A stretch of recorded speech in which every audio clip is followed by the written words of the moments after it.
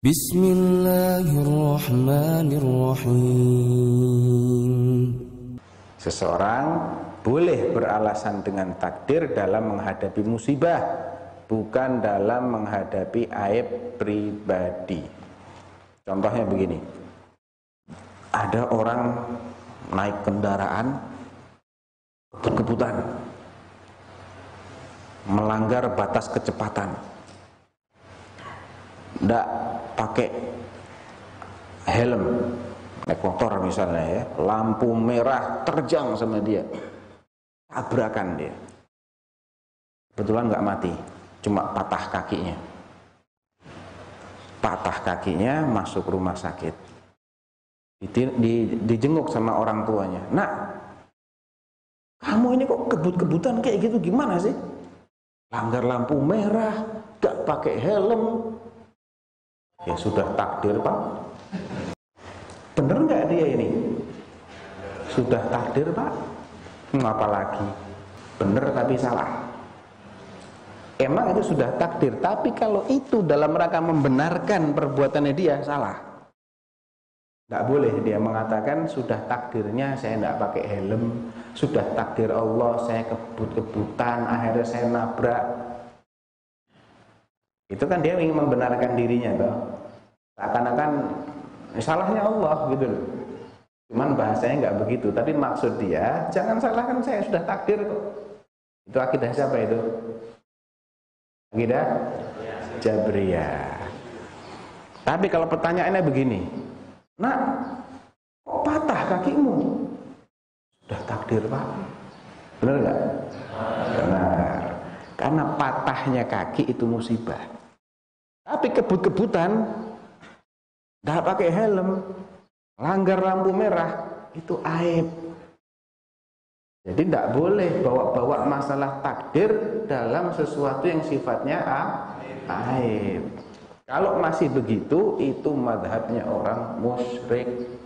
Lain madhabnya Jabriyah. Ya, orang musyrik bilang apa? Di surah An-Nahl ayat 35, orang-orang musyrik ini mengatakan, وَقَالَ الَّذِينَ أَشْرَكُوا لَوْ شَاءَ اللَّهُ ma abadna min dunihi min syai'in nahnu wala aba'una wala harramna min dunihi min syai' kadzalika fa'ala alladhina min qablihim fahal 'ala ar-rusuli illa al-balaghul mubin dan berkatalah orang-orang musyrik itu ya mereka ini kan didakwahi sama Rasulullah ayolah kalian tinggalkan perbuatan syirik ini ibadahlah hanya kepada Allah, tinggalkan berhala, tinggalkan tradisi-tradisi jahiliyah kalian. Jawab mereka, kalau Allah menghendaki, kami tidak akan nyembah selain Allah. Leluhur kami pun juga tidak akan nyembah selain Allah. Ya ini sudah takdir, gitu loh maksudnya. Ah. Kenapa nggak pakai jilbab? Allah belum nakdirkan saya pakai jilbab. Kenapa nggak sholat? Ya kalau Allah takdirkan saya sholat, saya sholat. Kenapa kamu tidak masuk Islam? Belum takdir. Sama. Jawaban orang musyrik kayak gitu dari dulu. Dapat udur nggak mereka? Tidak. Apa kata Allah? Kadzalika kadzdzaba alladziina min qablihim hatta dzaqu ba'sana. Demikianlah orang-orang sebelum mereka juga mendustakan ajakan kami ini. Diajak untuk beriman, ditolak dengan cara seperti itu.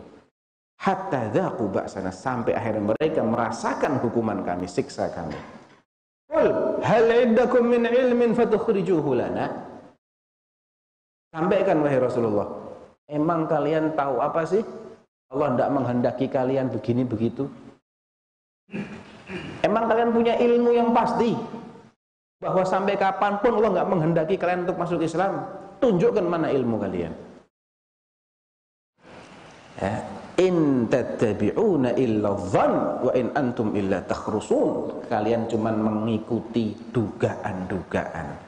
Asumsi-asumsi anggapan-anggapan tanpa bukti tanpa dalil dan kalian hanyalah berbohong. Jadi Allah nggak terima alasan itu. Karena itu aib. Syirik itu aib. Ya maksiat itu a aib